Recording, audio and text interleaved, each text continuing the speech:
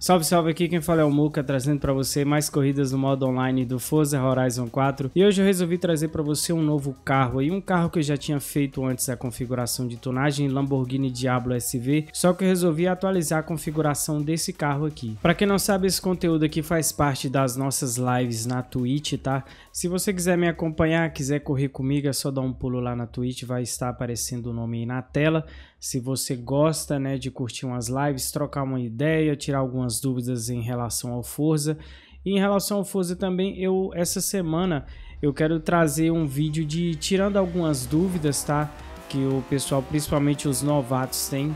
É, eu alerto que vai ter algumas, algumas dúvidas que eu vou ter que tirar, que elas são bem óbvias, principalmente para quem tem mais experiência aqui no Forza Horizon. Eu tô vendo que tem muita gente que tá chegando de fora, de outros canais que eram uma pegada diferente de Forza Horizon.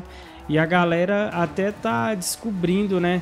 É uma nova forma de jogar o Forza Horizon depois de ter é, absorvido o conteúdo aqui que a gente traz no canal.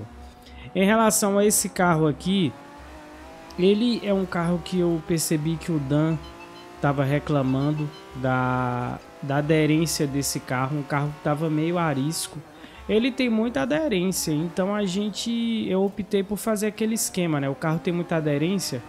Eu coloquei 60 de barra estabilizadora na traseira e um na dianteira, porque a gente sempre faz isso quando o carro tem muita aderência.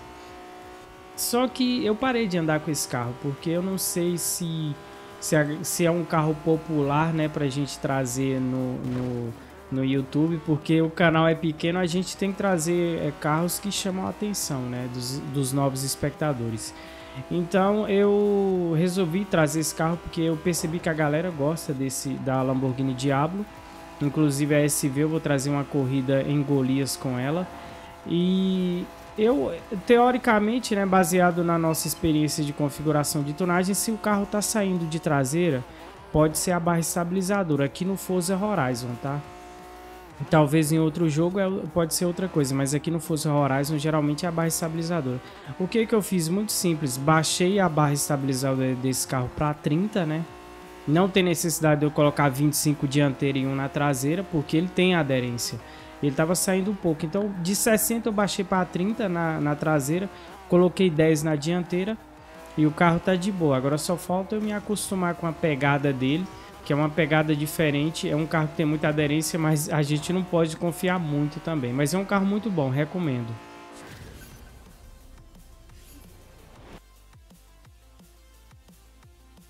Corrida online de rua número 2, agora a gente vai de Dodge Viper 2013. Esse aqui não é o ACR, tá, gente? O pessoal queria muito que eu fizesse o ACR. Inclusive eu já tentei fazer de várias formas, só que é um carro nerfado, muito, muito nerfado é, o, o Dodge Viper ACR, que é a melhor versão desse Dodge aqui, mano, ele tem uma aderência absurda, só que ele não... Velho, a aderência dele é quase um carro S2. Só que ele não... Velho, você, você pode fazer a configuração que for, ele é muito difícil passar dos 290.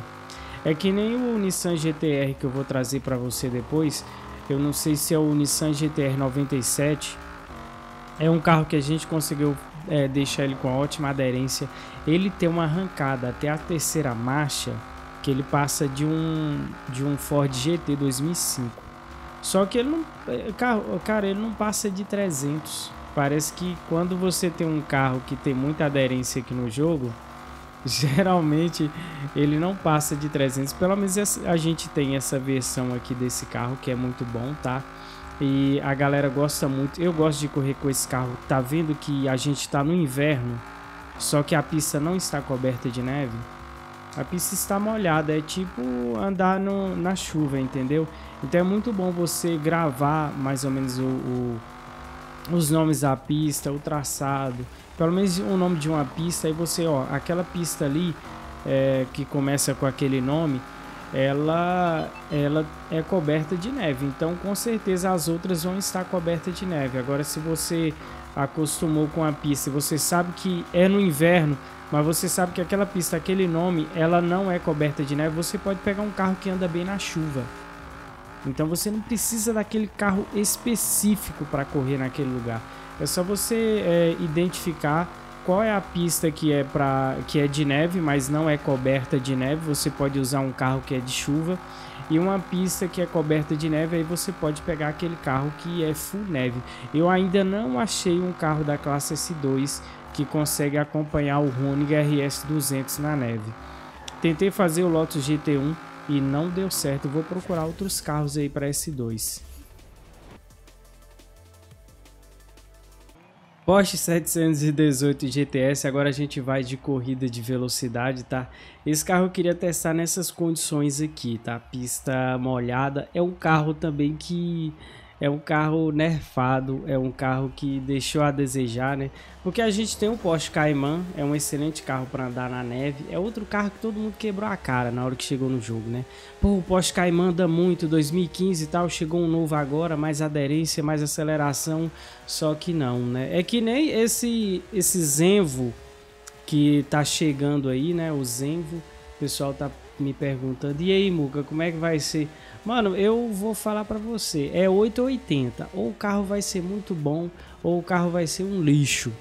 Eu tô, eu tô, ó, velho, vai ser muito engraçado se a gente pegar esse Zenvo no evento sazonal e esse Zenvo, é, por exemplo, imagina aí, você vai ter que colocar o aerofólio do Forza para esse Zenvo andar em determinada classe. Nem imagino se ele vai vir uma classe S1 800 e não S2 815 com uns 10 de manobra seria top. Aí dava para você dar uma reduzida de peso.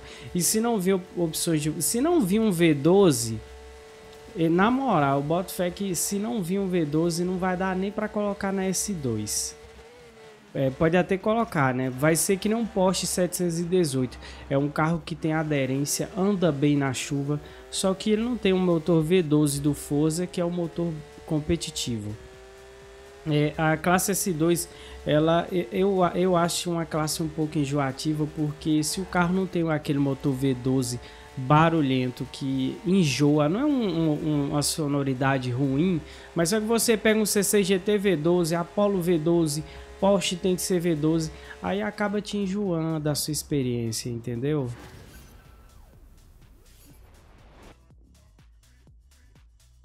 Vamos finalizar de Honda NSX 92. Lembrando, venha curtir comigo aqui na Twitch, tá? Se você quiser correr ou acompanhar as nossas corridas, tirar dúvidas, é só aparecer na Twitch, beleza? Obrigadão todo mundo que tá deixando like, obrigado todo mundo que tá mandando um salve nos comentários, tá? Tô tendo um feedback muito bom.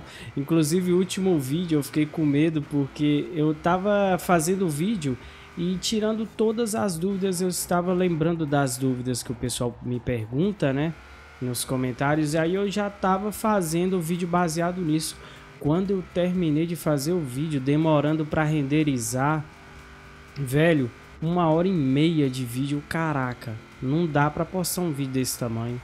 Vou ter que cortar o vídeo, cortei e fui cortando e gravando alguns trechos de novo, aí ficou uma hora, não, cinquenta e poucos minutos. Ainda bem que a galera curtiu, quem realmente quer aprender tem um tempo, né? Tem que ter tempo, porque cinquenta e tantos minutos, mas ali deu para tirar muitas dúvidas, tá? Inclusive eu quero trazer um vídeo é, explicando tudo sobre o jogo, principalmente para jogadores que estão começando, tá? Em breve eu vou fazer esse conteúdo. Tô querendo tirar um tempo aí porque aqui em casa tá muito barulho e eu não gosto de trazer um vídeo com a qualidade ruim. Beleza? Deixa o like, manda um salve nos comentários, não se esqueça de se inscrever e até o próximo vídeo.